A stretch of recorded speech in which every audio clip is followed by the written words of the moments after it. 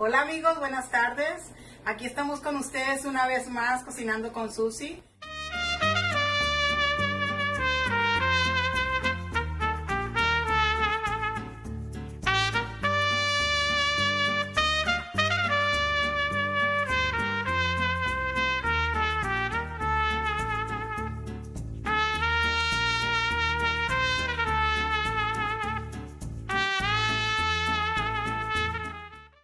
Hola amigos, buenas tardes. Aquí estamos con ustedes una vez más cocinando con Susi, trayéndoles una receta muy muy deliciosa, muy económica y muy rendidora también.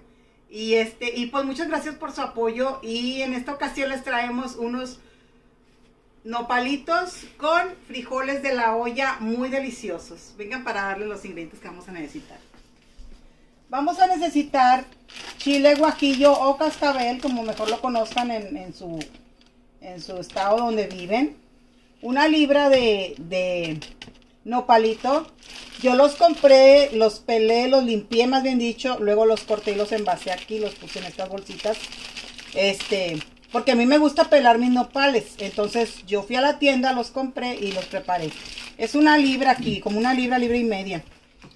Vamos a necesitar también de 3 a 4 dientitos de ajo, un trozo de cebolla, media cucharita de comino entero, sal al gusto, aceite el necesario y pues también unos frijolitos de olla muchachas que yo ya tengo cocinados. Ya los tengo aquí cocidos, miren en mi jarro. Este, yo los cocí con, con este, con un trocito, digo, con un, este, un dientito de ajo y sal. Entonces, yo ya los tengo cocinados porque quiero evitar hacer tan largo el video para no aburrirlos. Entonces, ustedes ya saben, me imagino el cocimiento de los frijoles. Pues es sencillo, se limpian, se ponen a...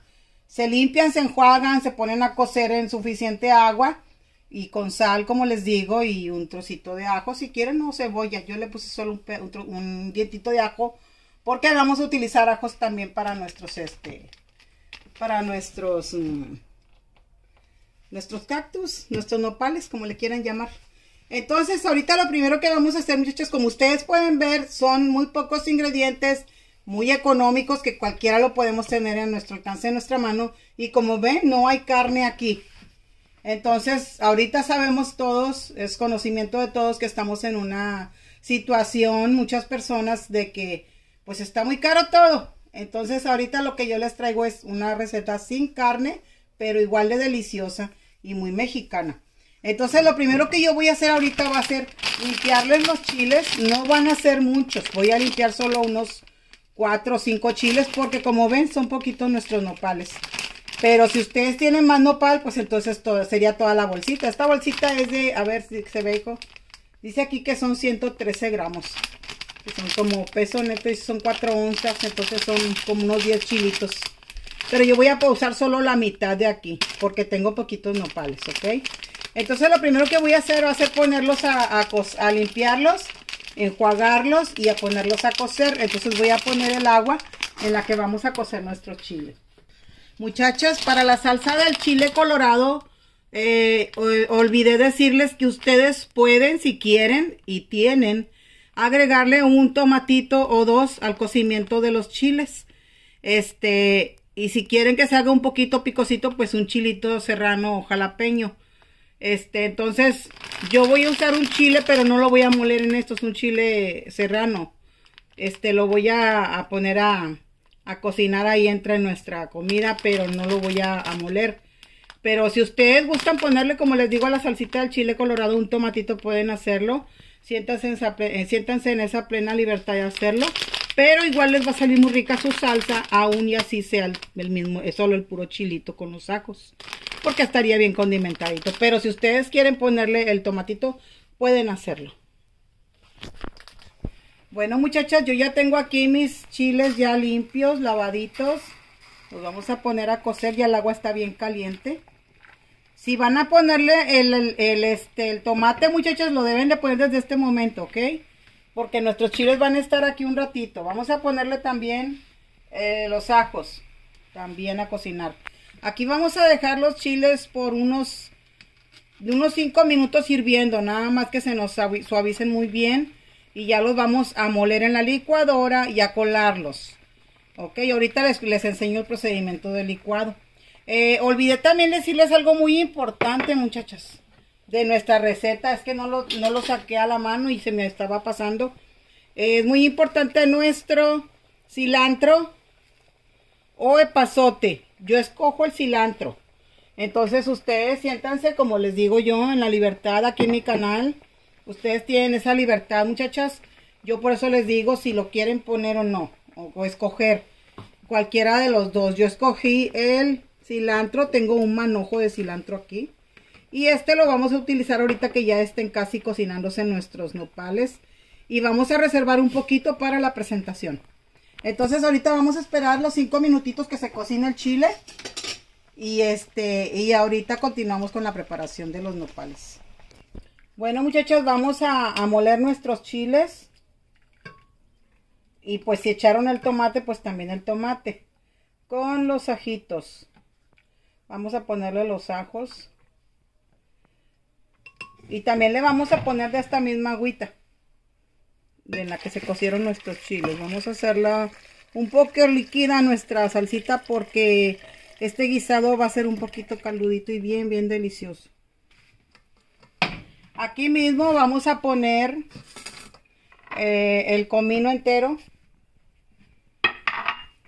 Y le vamos a poner, a ver, aquí ustedes pueden ponerle la sal o la sal ponérsela a los nopales. Ahí es decisión de ustedes.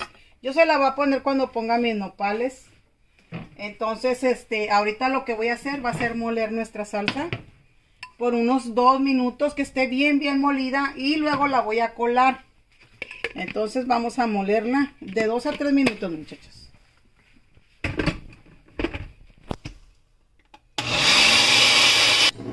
Muchachas, ya tengo aquí mi chile molidito. Lo molimos con los ajos y los cominos que teníamos por allí. Entonces ahorita lo que voy a hacer, voy a poner aceite en, en mi en mi de esta cazuela. Solo un poquito, no requiere tanto.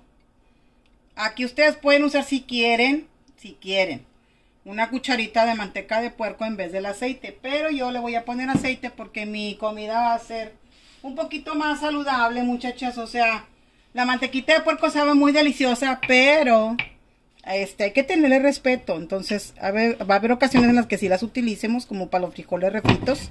A mí me encantan con la mantequita de puerco. Pero yo la manteca de puerco, mis respetos, señoras. Entonces, sí la utilizo, pero en muy pocas ocasiones. Entonces nuestra cazuela ya está caliente. Y vamos a poner, como les vieron, bien poquitito aceite. Para poner a cocer nuestros nopales. Como ustedes pueden ver, yo los nopales no los serví. Los vamos a cocinar directamente aquí a la... Ya están lavados y enjuagados. Bien, bien enjuagaditos, escurridos. Y ya, ya estaba calientito, ¿ok? Si quieren dejarla más caliente el aceite está perfecto. Este, pero ya estaba calientito. Entonces, hoy no gritó nuestro aceite, pero igual ya estaba calientito. Aquí le voy a poner la cebolla. Yo le voy a poner el trozo así grande porque los que ya me conocen desde mis primeros videos, muchachas, yo les he comentado que yo estoy traumadita con la cebolla en trozo pequeño. Porque cuando yo era una niña, mi mamá nos obligaba a comernos la cebolla y bien rebanadita, bien finita. Entonces yo me traumé. Y si la como hoy en día, mis hijos también se las doy a mi familia, pero en trozo grande se la pongo. Y luego ya después se las quito o se la puedo dejar ahí mismo, pero este, en trozo grande, no en chiquito, para podérselo sacar. Aquí mismo vamos a echarle el chile. Y le vamos a poner la sal al gusto.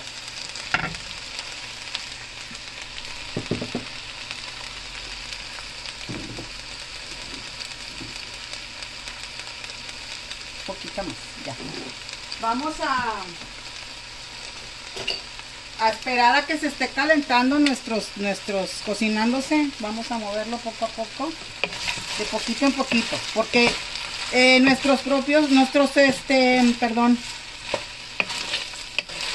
nuestros nopales se van a cocinar con su propia, la babita que sueltan, su propia agüita. Entonces, no es necesario que nuestros nopales estén babositos para que tengan la propiedad que tiene esa babita. Perdón. Nuestros nopales van a tener sus propiedades igual porque se van a consumir con su propia babita, se van a cocinar. Ustedes vieron que le puse bien poquitito aceite. Muchachas, miren, quiero enseñarles esto. Como se pueden ver, ya mis nopales están cocinándose y miren, no sé si se puede apreciar que tiene agüita ahí, que es la babita. Se están cocinando con, con su propio juguito. Este, y no los voy a dejar que se super resequen, obvio que no, porque si no nuestro guisado no va a salir bueno. Nomás que sí tenemos que esperar que se consuma un poquito más esa agüita. Mira, ven, dale aquí para que ven. Ahí hay una agüita, la babita esa. Se tiene que consumir un poquito más para poder guisarle nuestra salsa aquí mismo y luego ponerle nuestros frijoles. Vamos a esperar un ratito más a que se sigan este, consumiendo. Bueno muchachos, ya pueden ver aquí, miren, muchachas y muchachos. Miren cómo ya no tiene casi nada de líquido de nuestra babita del, del, nopal, pero hay algo allí, entonces eso es lo que yo estaba buscando. Lo que tienen que es que, dejar que sea bien poquito, porque iba el poquito aceitito que teníamos, acuérdense eh, al principio de que echamos nuestros nopales. Y ya en este momento, perdón, vamos a agregarle el chile.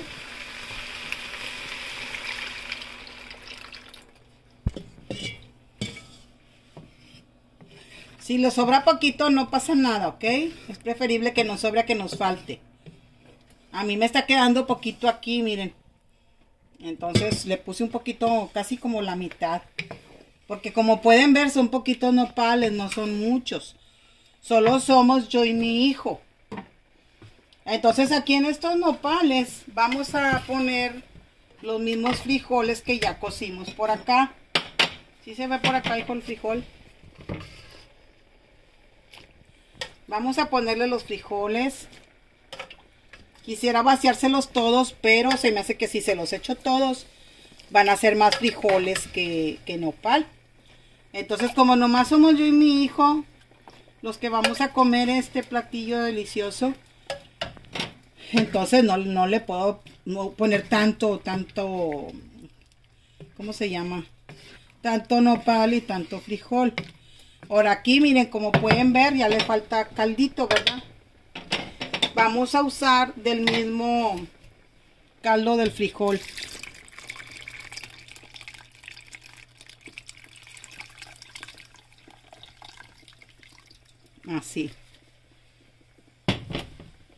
Yo usé como media, una, yo cociné una libra de, de frijoles.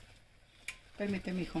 Este, pero solo le puse aquí como media libra. Aquí ya en este momento nuestro cilantro lo vamos a agregar en trozo grandecito, así me gusta a mí.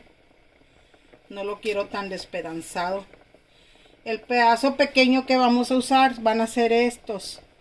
Ya el otro centrocito chiquito para la decoración de cada plato que vamos a servir. Entonces aquí vamos a, a dejarlo servir porque ya está cocinado esto prácticamente. Lo único que queremos es que se fusionen los sabores. Y este, y bueno, aquí es momento de probar qué tal está de sal nuestro guisado. Y si ustedes consideran que le falta más, pues le ponen un poquito más de sal. Igual también pueden ponerle el consomé de pollo, el Nor Suiza. Ese también pueden usarlo. Pero yo le voy a poner un poquitito de sal ahorita, si en caso, déjenme probarlo. Este, para ver qué tal está de sal, porque como nuestro caldo frijoles, pues ya traía Está perfecto, muchachos. No le hace falta nada. Como pueden ver, miren, aquí tengo el trozo de cebolla grande. No lo he quitado. Porque yo nada más quiero que saque, pues bueno, el saborcito que debe de soltar. Pero no la queremos masticar. Por eso lo dejo en grande el pedazo. Si a ustedes les gusta la cebolla, pues entonces corten en rodajitas. O como ustedes quieran, en cuadritos. Pero como aquí la comemos muy poco, así a mordidota no nos gusta. Entonces vamos a dejarlo que hierva, muchachas. Por unos 3 a 5 minutos a fuego medio bajo. Medio, medio Sí, medio bajo. En el medio vamos a ponerle como, yo tengo por números, le voy a poner el número 4 que viene siendo como un medio. No low, no bajo, es ni, ni alto, es en medio. Vamos a dejarlo de 3 a 5 minutos a partir de que empiece a hervir. Aquí todavía no está hirviendo, como ustedes pueden ver. Tienen que empezarse a ver los burbujitos donde va empezando a hervir. Y de ahí cuéntenle unos 3 minutos, de unos 3 a 5. Y este ya lo apagamos y lo servimos. Muchachas, ya tengo aquí mi guisadito de frijoles con nopales, nopales con frijoles de la olla. Así vamos a ponerle a nuestro plato y lo vamos a servir ahorita mismo. También pueden acompañarle con un chorrito de limón si quieren. Si quieren, no es que tiene que llevar el plato, no, eso si quiere, es al gusto de cada quien. Ok.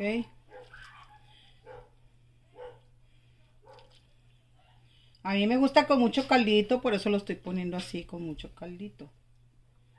Ok, así poquito más. Que se vean los frijolitos, porque también lo necesito para mi, mi foto. Ya todos los platos míos les tomo una fotografía. ¿Para qué, muchachos? Pues no sé, a lo mejor en un futuro, ¿verdad? Dios, Dios me premia y me bendice con un... Podamos poner un negocito y ya tengo las fotos de mis guisados. Y le vamos a decorar con un poquito de, de este cilantro picadito. Ok, este sí, muchachas, tienen que ponerlo, ok. Del mismo que teníamos del racimito, cortamos poquito así en, finito para, bueno, un poco finito, no está tan finito, tampoco me gusta tan súper finito. Así nomás que se vea rico, que sepa rico, ok. Y este, pues si quieren ponerle un, un limoncito, unas gotitas de limón, está perfecto. Entonces, muchachos, pues miren, aquí está nuestro plato. Ya terminado. Miren qué delicioso. Huele riquísimo. Y es algo tan, tan natural, tan económico y tan saludable. Porque ustedes vieron lo que necesitamos, fueron muy pocos ingredientes y miren lo que hicimos. Hicimos un manjar.